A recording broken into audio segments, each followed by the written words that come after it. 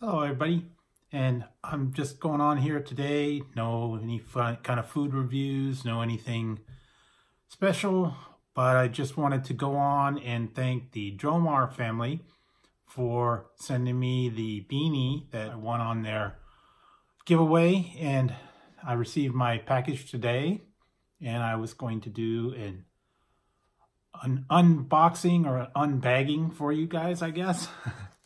since it's not really in a box. And so I am going to attempt to open this for everybody. Show the prize that I won. Things are always a pain to get into, especially since they're really sealed.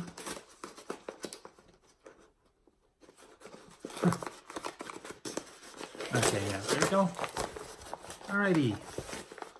So, here's the beanie that I received from the Dromar family. She, uh, Maria, knitted this herself. so here we go.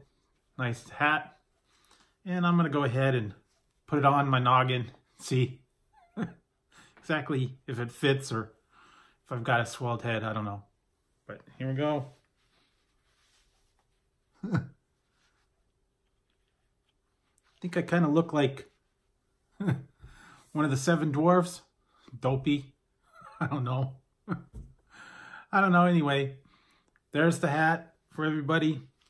And I can, you know, put it down here. And there we go.